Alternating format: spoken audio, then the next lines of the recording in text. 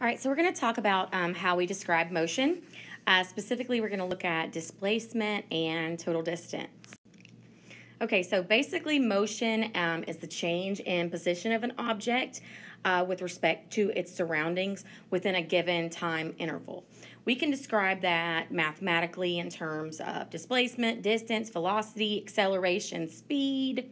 So there are many different ways for us to describe motion. Um, Understand, though, that motion, the way we describe motion is always in reference to um, some other comparison point or reference point. Um, so, for example, if you are sitting in a moving car, you are not in motion uh, relative to the car, right? You're sitting in the car, you're not moving. Now, the car is moving relative to anything outside of it. So, say I'm an old lady sitting on a park bench and you go by in the car, your car is moving relative to me where I'm sitting.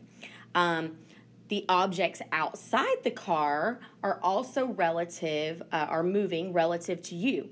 So if you're sitting in the car and you're driving by, uh, you know, the old lady on the bench or trees or anything like that, in reference to you, those objects are moving as you're going by them in the car.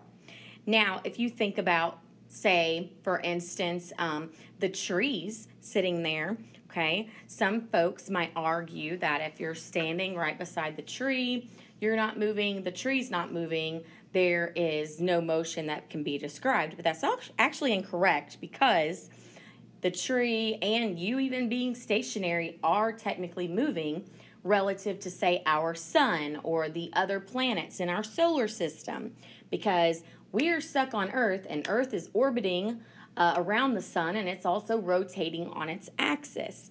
So, motion is very relative um, and you have to always know what the reference point is. All right, so let's look at distance versus displacement. All right, distance is the scalar quantity, which means um, the quantity that's just going to have a magnitude, no direction associated with it. Displacement is going to be the vector quantity, so it's going to have both a magnitude and a direction. Okay, so if you look at this little um, diagram down here, basically you see that distance is adding up all these little points okay, all these little distances that are traveled all along from beginning to end. So you're going to add all of these segments up.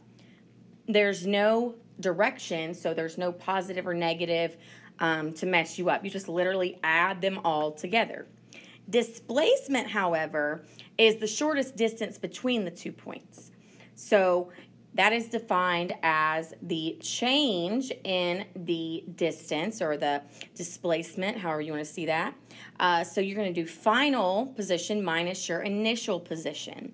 So if you see on here, our um, initial position is over here, final position is over here.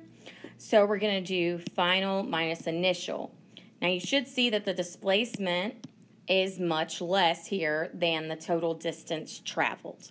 Okay, so now let's go look at some applications of this.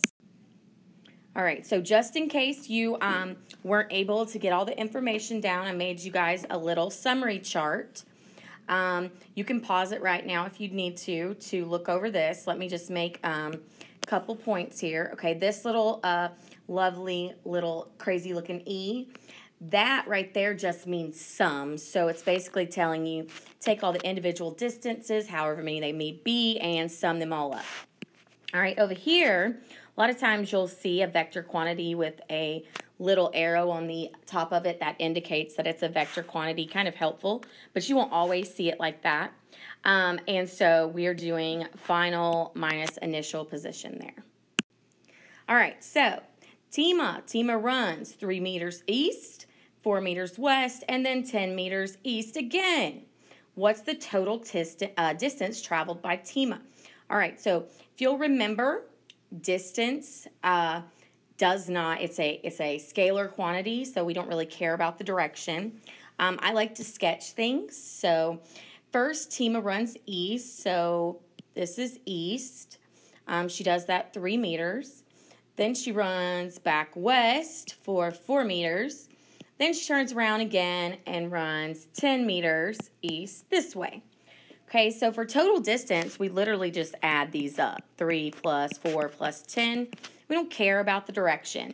So this is going to be 17 meters. So Tima traveled a total of 17 meters. All right, now displacement is going to be your final position minus your initial position.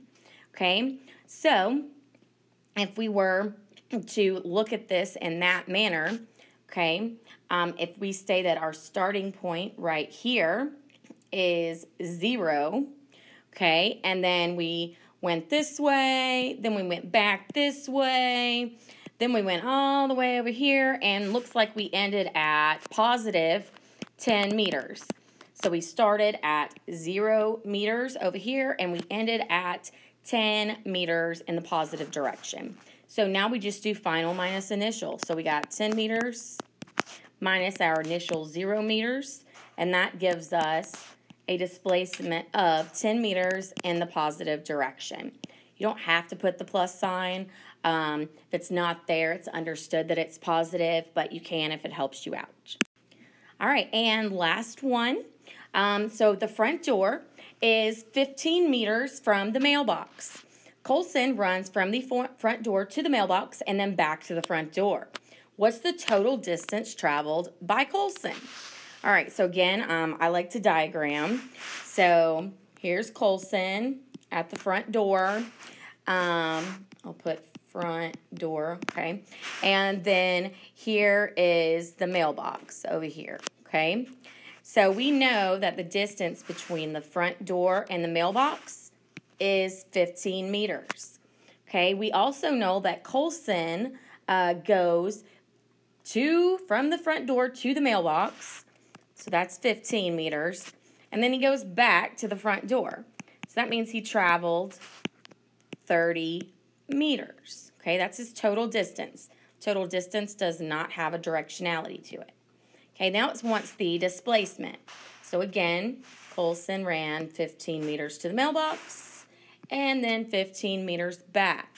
Okay, so if we label this as the initial position, which is zero meters, and then the final position is also at zero meters, if you were to do uh, final minus initial, you would get a displacement of zero.